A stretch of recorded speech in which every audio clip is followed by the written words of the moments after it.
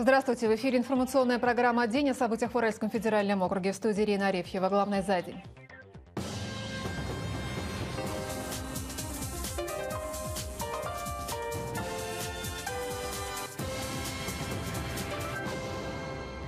Нет чипа, нет шубы. Как происходит маркировка меховых изделий и что грозит тем, кто продает контрафакт? Учите ученого в Уральском федеральном университете сегодня не стали рассматривать вопрос о лишении министра Мединского докторской степени. Умер через два дня после выписки. В Сургуте возбуждено уголовное дело по факту неоказания помощи больному. Сегодня стартовали всероссийские учения по гражданской обороне. В каждом регионе свой сценарий. Самозанятость приносит результаты. В Тюменской области растет количество предпринимателей. Итак, в России уже почти два месяца действует обязательное чипирование меховых изделий. Система маркировки создается для борьбы с серыми производителями. По некоторым данным, оборот по продажам шуб из натурального меха в нашей стране составляет около 180 миллиардов рублей. В чипах содержатся данные о каждом изделии и позволяют отслеживать его путь с производства до магазина. Как это работает в сюжете Анастасии Кондрашовой. Модные шубы и куртки на меху прибыли из Италии. На таможенном посту аэропорта Кольцова сотрудники службы каждое изделие сверяют. Затем поставщик накладывает персональный чип. Маркировку можно также приклеить или вшить внутрь дубленки, шубы или манто. Электронные ярлыки должны быть даже у небольшого шарфика. Это шарф из натурального меха, он тоже подлежит маркировке. Если куртки имеют только отделку, например, на рукавах, либо на карманах, либо только воротник меховой. Эти изделия не подлежат маркировке. Обязательное чипирование проходит как импортные меховые изделия, так и отечественные. Следить за наличием ярлыков будут таможенники, налоговики и Роспотребнадзор. Все это делается для борьбы с незаконным оборотом ценного меха. При маркировке на фотоаппарат инспекторы фиксируют нанесение меток на меховые вещи. Я произвожу идентификацию что значит, вот этот кис относится именно к этой шубе. И пока он, эта шуба не будет куплена, кисть будет висеть здесь, в любом месте нашей страны мира можно идентифицировать эту шубу. Эти неприметные мешки на вес золота. В них опечатаны норковые шубы на общую сумму 20 миллионов рублей. Ценный мех был конфискован таможенной службой. На него у поставщика не было никаких документов. В прошлом году инспекторы в магазинах Свердловской области изъяли более 5 тысяч меховых изделий, завезенных нелегально. Это вопрос достаточно серьезный. И отсутствие маркировки на, товаре может свидетельствовать о том, что э, товар либо незаконно перемещен через таможенную границу, либо он просто опасен. Модницам после нововведения придется почувствовать дефицит меха. Далеко не все поставщики успели получить чипы. Меховые салоны не смогут вывешивать в торговые залы ни одной дубленки без ярлыков. Причем даже если шубка была привезена много лет назад и до сих пор не нашла покупателя, ее обязаны промаркировать. Зеленые чипы сделано в России, красные – производитель иностранный. Меховые акцизы содержат всю информацию о товаре товаре. Такое, как страна производства, вид меха, а, информация о производителе. Сейчас я вам продемонстрирую это. Так, вот он сканировал. Здесь написано «Страна Греция», «Страна производства», вид меха «Норка». Отсутствие чипов на шубах грозит серьезным штрафом от 300 тысяч рублей. В особых случаях можно лишиться и свободы. Анастасия Кондрашова, Денис Уразбахтин. Информационная программа «День. Екатеринбург». Известный уральский бейджампер Ратмир Нагимьянов разбился во французских Альпах. Во время прыжка с высоты почти 4000 метров у него не раскрылся парашют. Расследованием трагедии на горнолыжном курорте сейчас занимается местная жандармерия. Ратмир Нагимьянов знаменит тем, что выполнял самые сложные трюки в разных точках мира. Кроме того, он совершил несколько прыжков с высотных зданий в Екатеринбурге и Тюмени. Видео прыжков он выкладывал в интернет. После известия о гибели Нагимьянова бейджамперы организовали в интернете сбор средств в помощь жене спортсмена спортсмена. Незадолго до смерти экстремал написал пост в соцсетях об опасности прыжков, сравнив их с русской рулеткой. Чем сложнее твой прыжок, тем больше правил, которые тебе нужно знать. Когда ты играешь без ошибок, прыжки не опасны. Но как только ты ошибаешься, начинается русская рулетка. Может ничего не случиться, и ты полетишь дальше, а может попасть боевой патрон. Ты разобьешься или травмируешься. В этом и есть смысл безопасных прыжков. Играть по правилам, соблюдать их и стараться не ошибаться. В Сургуте возбуждено уголовное дело по факту неоказания помощи больному. По предварительным данным, медики окружной больницы выписали из стационара и отправили домой умирающего пациента. Мужчина не смог самостоятельно зайти в подъезд и несколько часов ждал помощи, сидя на лавочке. Сестра голову просто приподняла, у него сразу кровь шла. То есть любое движение у него происходило кровотечение. Они утверждают, что у него не было кровотечения, да, но приехавшая бригада скорой помощи утверждает, что у него была запекшаяся кровь. То есть у меня возникает вопрос, э, откуда она у него взялась, если у него не было кровотечения. Ну, либо Борис Соколков был госпитализирован в июле этого года. По словам родственников, у мужчины было тяжелое заболевание легких. Он не мог самостоятельно передвигаться и нуждался в искусственном кормлении. Спустя какое-то время врачи сообщили родственникам, что пациент отказался от еды и лекарств и отправили мужчину домой на такси. Спустя два дня он умер. В больнице ситуацию не комментируют, ссылаясь на врачебную тайну. А делом заинтересовалась прокуратура. Если вина медиков будет доказана, им грозит до трех лет лишения свободы. Целях установления всех обстоятельств произошедшего было возбуждено уголовное дело причинения смерти по неосторожности вследствие ненадлежащего исполнения лицом своих профессиональных обязанностей. Следствие намерено не только дать правовую оценку действиям работников медицинского учреждения, но и провести работу по выявлению причин и условий, способствовавших произошедшему. В Челябинске фундамент одного из жилых домов размывают грунтовые воды и отходы от канализации. Система отведения в двухэтажке устроена по старинке на основе выгребной ямы. Но чтобы засыпать ее, необходимы сотни тысяч рублей. Сюжет наших челябинских коллег. Полтора метра нечистот. Выгребные ямы жителям двухэтажки в Чурилово продолжают докучать даже после проведения канализации. Хранилище для фекалий рабочие в свое время не только не закопали, но и сделали частью системы отведения. Вот у нас канализация. Поступает из дома в выгребную яму. С выгребной ямы набирается где-то метр-полтора, доходит до трубы и поступает в общую канализацию.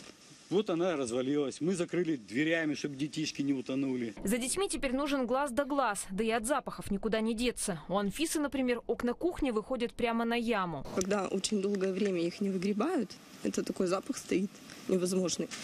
Поэтому стараемся бороться сами своими силами как-то. Э, берем у кого-то какие-то отсосные машины, что-то начинаем выгребать, а, цветы садим, чтобы под окошком был хотя бы приятный запах. Страшнее всего, по мнению жильцов, то, что стены в выгребных ямах рушатся, и фекалии вместе с грунтовыми водами размывают фундамент здания. С просьбой переделать канализацию местные жители обращались и к областным властям, и к городским. Но ответ получали один – засыпать ямы они должны за свой счет. Первоначально они должны инициативную группу определить, которая бы со своей управляющей компанией э, определилась уже по сметам. В данном случае это будет капитальный ремонт. А капитальный ремонт, он не идет по статье содержания ремонт, поэтому это будет отдельный финансовый средств, который необходим будет собрать. В 2017-м двухэтажку ждет капитальный ремонт. Почему канализацию не включили в план работ, неясно. Обещают только укрепить и привести в порядок фасад. Жильцы боятся, что такой ремонт не спасет дом, потому намерены поднять вопрос уже на федеральном уровне. Мария Минина и Кирилл Уланов специально для информационной программы «День», 31 канал «Челябинск».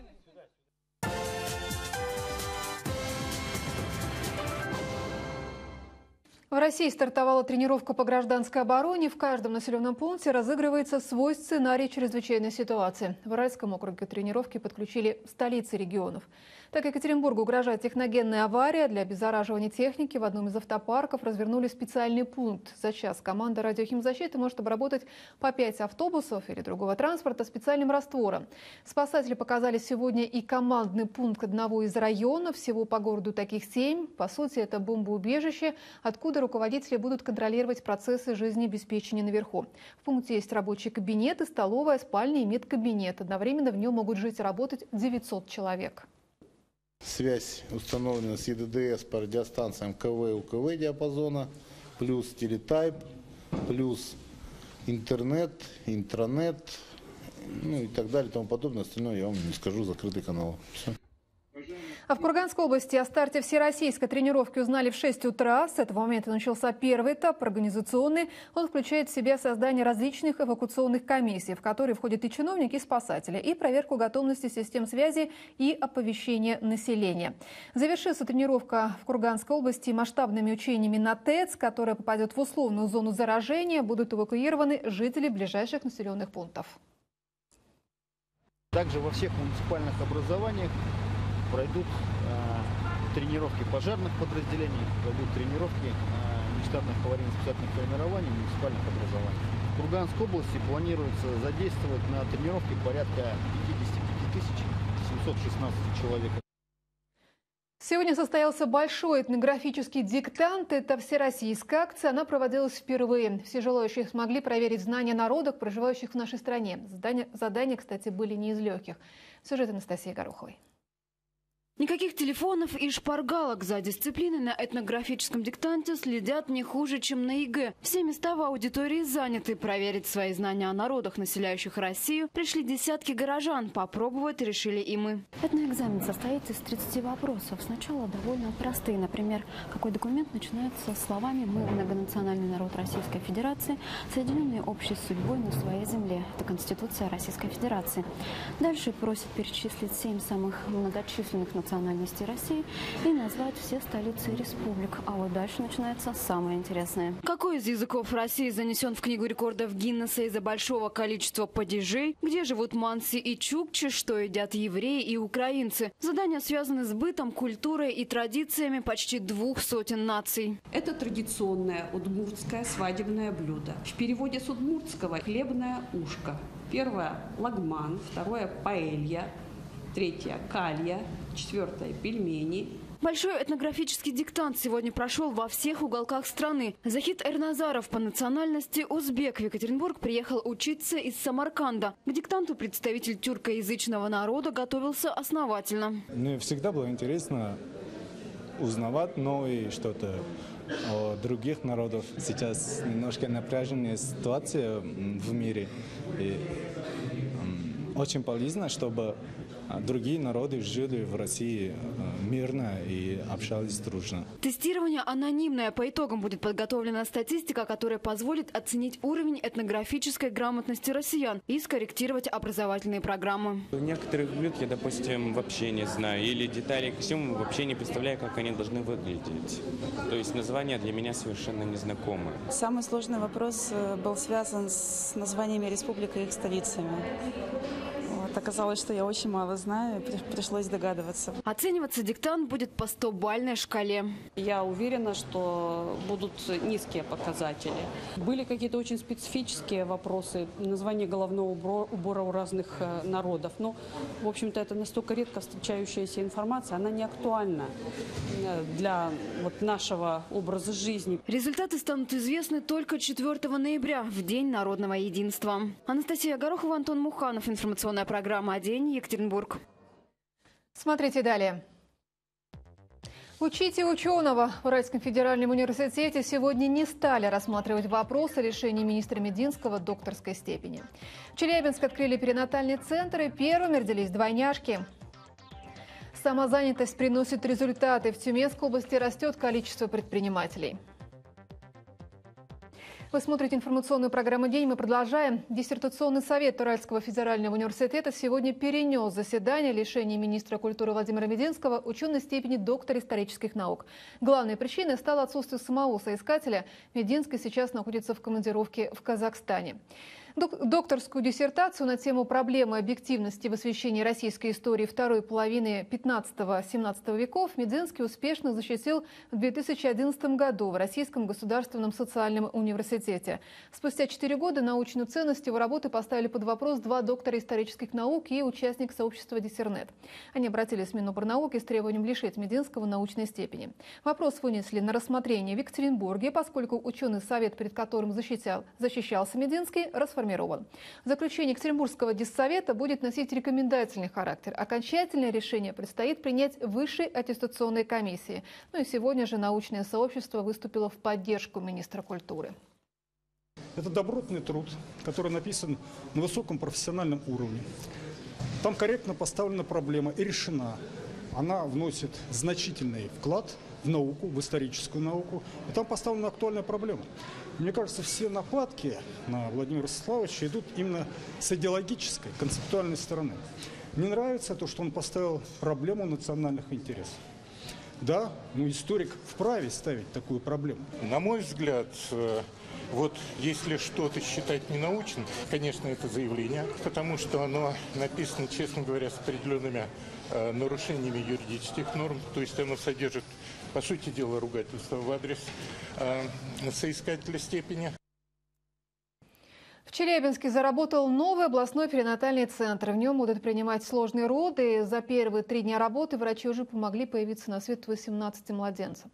Ну а первыми в новом перинатальном центре родились двойняшки – Александра и Агата. Мама и малышки чувствуют себя хорошо.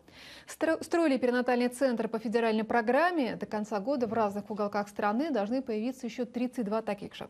Возводить Челябинский центр начали в 2014 году. Здесь есть 12 индивидуальных родильных залов и еще три операционных. Есть отделение реанимации для рожениц и младенцев, где будут выхаживать новорожденных с недостаточной массой тела. В перинатальном центре также откроется отделение вспомогательных репродуктивных технологий. Наше мнение всегда учитывалось при строительстве областного перинатального центра. Особенно учитывалось мнение, когда наполняли оборудование. То оборудование, которое должно было находиться здесь в перинатальном центре. А заведующие, ночмеды, главный врач. То есть все мнение было учтено, какое оборудование должно быть здесь. И в настоящее время здесь собрано самое современное, самое высокотехнологичное оборудование. Высокотехнологичное оборудование, которому могут позавидовать даже западные клиники, используется и в Уральском клиническом лечебно-реабилитационном центре. Сегодня там была выполнена десятитысячная операция. Таких результатов врачам удалось, удалось достичь за два года работы. Сам центр был построен на частные деньги, но операции здесь проводят и в том числе по линии УМС. Сюжет Романа Марьяненко. Александру Ивановну в реабилитационном центре знают хорошо. Здесь она лежит в третий раз. За два года женщина перенесла несколько операций. Сначала ей заменили коленные суставы, а на днях и тазобедренный. До операции, вы не поверите, я не могла даже повернуться. Мне помогал мой муж чтобы я, потому что не могла долго лежать на спине, очень было больно. И коленные суставы очень сильно беспокоили. Лечение, говорит Александра Ивановна, помогло ей вернуться к активному образу жизни. Медперсонал даже стал называть ее «наша оптимистка». После выписки у пенсионерки много планов. Не бросать плавание, гулять, наматывать километраж, делать зарядку ежедневную и все предписания, которые нам дают доктора, выполнять. Таких историй в Уральском реабилитационном центре можно услышать немало. Чаще всего проблемами суставов страдают люди от 40 до 60 лет. Этот возраст считается вполне активным. Их социальная адаптация, возвращение э, к рабочему режиму, то есть как к социальной активности, к профессиональной активности, это очень актуально, э, в том числе и э, путем выполнения эндопротезирования. Юбилейная десятитысячная операция могла состояться намного раньше. Центр, который был построен на частные средства местного бизнесмена Владислава Тетюхина, сегодня работает далеко не в полную силу. В год здесь проводят 5 тысяч операций, а можно делать 7-8 тысяч. Подавляющее число оперативных вмешательств для граждан бесплатны. Они проводятся в рамках рамках системы ОМС или по заданию Свердловского Минздрава. А вот федеральных квот центр еще ни разу не получал. Эту задачу нам диктует реалии сегодняшнего дня, потому что нуждаемость пациентов в подобных операциях, она высокая. Количество пациентов, которым необходима высокотехнологичная медицинская помощь, оно остается большим, несмотря на то, что у нас существенное количество операций, нуждающие еще и есть. В ближайшие годы Уральский клинический реабилитационный центр будет расширять свои возможности по оказанию медпомощи. Техника и кадровый потенциал позволяют. Уже сегодня наряду с эндопротезированием выполняется множество операций по другим профилям, например, гинекологии и урологии. Роман Марьяненко, Вадим Шолохов. Информационная программа «День». Свердловская область, Нижний Тагил.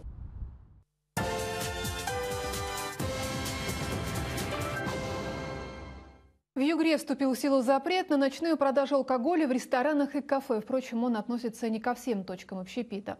Ограничения коснулись только тех мест общественного питания, которые расположены в многоквартирных жилых домах. Этот запрет связан с тем, что жильцы таких домов нередко жалуются на шум, который доносится из заведений ночью. Всего в Югре более трех тысяч мест общественного питания, и данная норма касается 180 кафе и ресторанов. Добавлю, что в округе и так один из самых жестких региональных законов об ограничении продажи алкоголя. Запрет на торговлю горячителем действует с 8 вечера до 8 утра. С 1 октября многофункциональный центр стал предоставлять услуги для бизнеса. Это федеральный проект. Пока он реализуется в статусе пилотного. Эксперимент пройдет в том числе на территории Курганской области. Сейчас отрабатываем ряд вопросов с э, снабжающими, ресурсоснабжающими организациями. Это энергетики, это земельники. То есть, чтобы э, как можно меньше наши э, предприниматели стояли в очередях и решали как можно быстрее те вопросы, которые у них возникнут. МФЦ для бизнеса будет работать по принципу одного окна. Предприниматель может сдать пакет документов, необходимый для регистрации нового предприятия. Это займет 15-20 минут. Остальное за бизнесмена сделают сотрудники многофункционального центра. Потом они свяжутся с ним и вручат уже готовый зарегистрированный бизнес. Предприниматель оплачивает только необходимые госпошлины, услуги многофункционального центра бесплатны. Пока новый сервис работает только в головном офисе МФЦ в Кургане, но в будущем единые окна для бизнесменов планируется открыть во всех отделениях многофункционального функционального центра. Число предпринимателей растет в Тюменской области. Этому способствует программа «Самозанятость». Тем, кто захочет открыть свое дело, помогают прежде всего деньгами. О начинающих предпринимателях. Сюжет Инны Михайловской. Сварочный аппарат, горн, болгарка и металл. Все это Любовь Колясникова купила на средства по программе «Самозанятость». До того, как стать бизнес-леди, работала менеджером в этом самом цехе. Прежние хозяева решили его прикрыть, Любовь подхватила знамя и сейчас нередко сама участвует в изготовлении заказов. Когда есть возможность поучаствовать, я также в цех прихожу, прошу мужчин и также стою и маску могу одеть, то есть сваркой поработать и какой-то узор загнуть на станке. А чаще всего вот э, с кисточкой или краскопультом работаю и рисую эскизы.